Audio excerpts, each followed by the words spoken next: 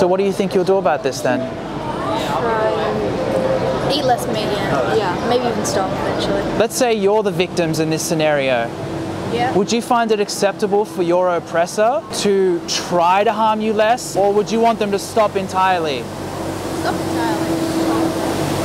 Immediately. Yeah. So please don't compromise when it comes to these non-human animals because they suffer just like you would if you were in their position. If you wouldn't compromise, if you were the victim, then do the same thing for them.